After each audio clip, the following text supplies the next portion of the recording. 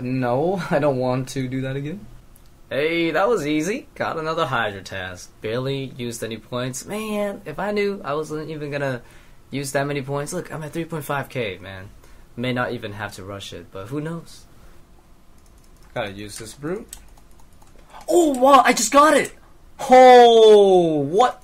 Yo, I just got the Hydra's Claw. Holy shit. My goodness, boys. That didn't take too long. That did not take too long, boys. Only 458 kills, mate. Only 458 kills, boys. Let's go, man. Third task to charm. That's what. That's why I gotta call it, man. Wait, why is it like in in the form of a plate? There's like a bowl or something on it. Dope, man. Dope. I can't wait to make my uh, Dragon Hunter lance though, man. So all that's left for Hydra that I want is the Hydra's Heart, which is a component to make the Brimstone Ring Best in Slot hybrid ring with a really cool effect, and the Hydra's Pet, which if I were to guess is probably one three thousand. So that's gonna be a tough grind, but yeah, man, getting closer and closer to completion. Wow, man, I'm just not hitting anymore. Wait, what? So there's this glitch where if you're moving too much before Hydra on the final phase spits the poison, it will do the head bomb motion, but it won't even show the poison animation. So that threw me off. Okay, so I just think I just have to use it on the Hasta, right? Is that simple? Are you sure you combine the Hydra Claw and the Zamorakian Hasta to create the Dragon Hunter Lance? This cannot be reverted. Yes, of course. Proceed with the alchemical combination. Oh, it did the uh, the diamond sparkle enchantment animation there. Oh, there it is, boys. The equipment uh, viewer, you can't even see the whole thing. So I guess I'll just show it in game. Yeah. Ooh, look at that. Not the biggest fan of the spirals because it looks like a screwdriver, but so here is the stat overview of the Dragon Hunter Lance. It's almost identical to that of a Zamorakian Spear, not including its special 20% damage and accuracy against dragons. Its base stats is 5 melee strength less than a Zamorakian Hasta, and it doesn't offer the defense bonuses that a Hasta or Zami Spear typically would offer you. So when you are fighting non-dragons, the Zamorakian Hasta will be superior to a Lance, but the moment you use the lance against a dragon, it will be far superior to that of a Hasta by a lot. The 20% damage and accuracy is huge. So shortly after I finish this Hydra task, I'm gonna go and test this Dragon Hunter lance everywhere. Or at least try to, you know, try to test it on relevant dragons that I'm sure a lot of people are interested in. Things like Rune Dragons, uh, things like Vorkath, and of course, the Olm, of course, who doesn't want to test the Dragon Hunter Lance on the Mighty Olm? But there's also a lot of Slayer tasks that I'm going to inevitably be getting when I am uh, doing my other goals. So things like uh, Wyverns, Skeletal Wyverns, Fossil Wyverns, um, Mithril Dragons, Addy Dragons. It's not that important. Oh shit, I just hit 500 KC as well. Wow. Um, so, looks like I'm going to be ending at like 650 KC when I finish this task with the bracelet. Once this task is over, I'm gonna go back to focusing a bit more on the original goals I've had on this account, like pet hunting, metamorphic dust hunting, and whatnot, and test out that lance. Oh my god, I got another Hydra Claw! Oh my god. Oh, damn definitely felt a bit too lucky on the Hydra Claw grind just because, you know, on day three, I already managed to get the Hydra Claw and another one. I'm used to grinding things that could take, you know, weeks, months, and even up to a year based on my raids experience. And yeah, it's, it's just like so weird to get a big item so fast. But I, I feel bad though, because I know there's probably a few other people out there that are like super dry and whatnot, so and I believe the draw rate is estimated to be 1 in 1,000 based on the copious large sample sizes that people have gathered throughout the uh, past week or two. This is a lot more profitable than Vorkath. Right now, yes. Oh, I got it! The Hydra's Heart. Oh my god. Holy shit, dude. That's it. I'm already done. 543 kills? Wow, that's not even that bad. Man, I, I, got, I got the Hydra RNG, boys. Shit, that's crazy. Dude, that's so crazy. So I pretty much have every single drop now from Hydra, excluding the pets. And I'm definitely not going to have that motivation to grind Hydra like every single hour of the day. Because like the past three days, I've been doing like 8 hours of Hydra every day. So yeah, definitely uh, need to tone it down. So now's a good time anyways. Be sure when combine the Hydra Heart, the Hydra Eye, and the Hydra Fang to the Brimstone Ring this cannot be reversed. Of course, of course. Proceed with the combination. Ooh. Oh shoot, I didn't get to read the dialogue, damn it. I was so keen on just putting it on, you know? As you guys can see, this ring's got everything. It's got attack bonuses for every style, it's got defense bonuses for every style, also comes with a 4 strength bonus as well. So you're probably wondering, can I imbue this bad boy in Nightmare Zone? Actually, you cannot. So this is its full base power, and yeah, it ain't changing. It does have the 25% chance to ignore 10% of whatever you're fighting's uh, magic defense, and when you're using any magic spell, including Trident too. So what are the uses for this ring? Now, post edit, I can tell you that this ring is hella nice for raids. I would say a lot of uh, high level raiders would say that this ring overall is a teeny bit better than a Berserker ring. And I've heard that PKers might want to use this. Don't quote me on that. I've just heard rumors about it. But another use that I can think of is Maging Bandos. This ring's magic defense negation ability would certainly make Maging Bandos a bit uh, better. But yeah, as for me, challenge for raids awaits with this new ring, that's for sure. So here's all the Hydra uniques uh, showcased at the same time. So we got the lance, the necklace, the brimstone ring, and the ferocious gloves. So I will pretty much be using all four of these new items. Uh, the necklace is just a bone crusher, so I'm just going to be bringing it for regular Slayer. And Lance is just for any dragon task and for Olm. And the Ferocious Gloves is for any time I'm doing a melee task, so it's going to pair really well with the Lance. And also the Brimstone Ring is going to be perfect for challenge mode raids and raids in general. Alright, so we're going to put this ring, um, I guess, next to all the other rings that I commonly use, so Hmm. Wow, man, my my banks look quite different. You know, just because of Hydra, man. Quite a few new things here. Looks nice though. Looks really nice. Oh, dude, you can. Yo, I just got a bone crusher.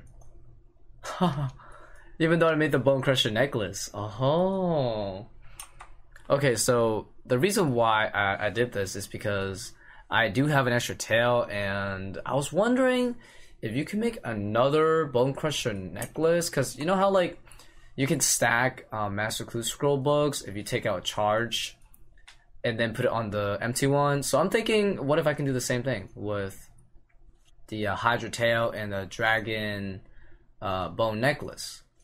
So let's test this. Oh, let me see if they stack. So it turns out that it just doesn't stack. So that's a shame. Oh my god, I just got another Hydro leather. oh my goodness, man. Just trying to wrap up this task, you know, looking for the pet, and I get another Hydro leather. Oh shit. Oh my god, I just got another Hydro leather. What? I still think it's 1 in 512, you know? I'm not even gonna lie, the Hydro RNG is wild, because I swear to you, this is not a repeat clip, this is literally my third leather in like I don't know the past 100 kills. And also, I forgot to record a Hydra's Eye. I'm in the process of starting another Brimstone Ring. like, seriously. And the task is complete. Holy shit, I did three Hydra tasks, and uh, what's the KC now? Wow, 660, Jesus. The bracelets really did, did work. Like, basically, if you think about it, I'm doing 220 kills a task. Man, okay, well, I've definitely had my fun here. I've gotten what I wanted for the most part. Uh, you know, still gonna be back for the pet. I would do Duradel, but you can't get Hydra from Duradel, so And I want the pet too from Hydra, so yeah. Just gonna be doing the pet hunting stuff through Konar for a bit, see how that works. Hopefully uh, it works out nice. Wow, that's so easy. Bring balance to five skeletal wyverns. Hmm, I mean, can you... I, I would assume the lance is definitely better than the whip that I typically use. So here is my setup for wyverns. I'm bringing along two new bad boys. We got the ferocious gloves and the lance. The ferocious gloves, it's definitely the choice of gloves when you are just simply meleeing like wyvern meleeing. But yeah, these stats are amazing. So the lance is very versatile. It's got a stab, slash, and a crush style. For wyverns, uh, they are special because they're actually really weak to crush and the lance actually has a really good crush. So actually, instead of stab, which I normally would use, wyverns has the exception of where I should be using crush. My character is holding the lance with two hands and holding the shield together. Wow. Let's go smack some uh smack some wyverns, dude, with the lance. Oh, 56. 60. Okay, I'm loving this weapon already. Holy shit. Huh. Imagine just smashing wyverns like that. Oh my god, dude. Hell yeah, dude. I think I just four hit the wyverns earlier. Oh my goodness. This is too good. Yo, I wish I had a 30 of these sides instead of 5, because... Wow, I'm kicking ass. I am absolutely kicking ass right now. I can't wait to try these at Fossil Island Wyverns too. Yo, the crush animation is sick, dude. Ooh, 30 adamant dragons. Addy dragons are definitely a good place to test the lance at, as I am looking for the dragon kite shield parts whenever I get the task. And these guys are super tanky.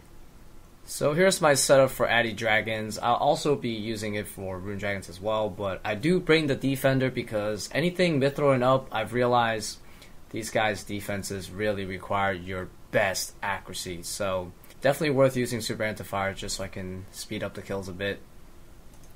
So the Addy Dragons are insanely tanky, so you're going to be noticing some zeros every now and then. But honestly, with the Lance, I narrowed down those zeros by such a big margin. I pretty much almost hit every time, and I was able to hit like up to 63 with full on uh, max strength. So that's insane because I typically before this used the Ghrazi Rapier, so I was hitting like mid 50s, like 57s or something. And I definitely missed a good amount more. It was so noticeable. So yes, the lance absolutely dominates uh, these dragons, especially the higher defense ones. I I definitely wouldn't ban those. They're too common. Oh, fire giants. I'm banning those. There we go. Since uh, Konar does not give su- Suquatas at all, I'm gonna be uh, putting this as the block list instead. Since fire giants are a nine, which is the second highest frequency, which is slightly under four percent chance. So yeah, that's getting the, into the block list. Oh, there we go. Fossil Island Wyvern's perfect. That's that's another good tanky uh, creature to chest. I didn't bother using the lance on the regular Fossil Island Wyverns because they were honestly quite easy even with the rapier. So I thought, okay, you know what? Let's try out the ancient Wyverns with the lance. And I gotta tell you, the difference is so noticeable. So from what I can see, the pattern is is that the tankier the dragon, the better the lance really does over something like a Ghrazi rapier. So as you can see in in these uh, few clips of me fighting them, is the lance is just penetrating through its thick defense, similar to that of Addy Dragon. So before I used to bring a Warhammer because it would actually make a noticeable difference when I landed the spec to reduce this defense. But honestly, with a Dragon Hunter Lance, it's not really worth it anymore just because the Lance is already really accurate on its own. I'd rather just bring an SGS for some heals instead, for sure. But anyways, I managed to complete the whole Ancient Wyvern task in one trip, which previously was not possible at all. Like I would go hard with a Ghrazi rapier, and if I get lucky, I get like 14, 15 kills a trip using just like you know manta rays. But yeah, this time I did over 20 kills in one trip with modest amounts of food drops. So this is actually quite impressive. So yeah, the lance just shreds on tanky dragons. Unfortunately, I don't have time to test out the lance at any more places for today, but I plan on testing it out at some other important places like Vorkath and Olm, of course. So hopefully I can get that in the next video. But so far, uh, first impressions for the Giant Hunter Lance, it is really good. It works exactly as advertised initially. It will 100% replace Ghrazi Rapier both in price and in actual effectiveness against dragons when you're meleeing. So some questions that you know need to be answered is what about against Dragon Hunter Crossbow? I'll definitely talk more about that in the next video because you know it's really pertained strictly more so for Vorkath. But yeah, I'll tell you more about that. But in terms of meleeing dragons, this thing is not going to be surpassable by anything else at the moment. If you did enjoy the video, feel free to give the video a like as it would help promote this video and support the channel. Besides that, many thanks for watching and I hope to see you guys soon with another video within the next week. Take care and bye bye.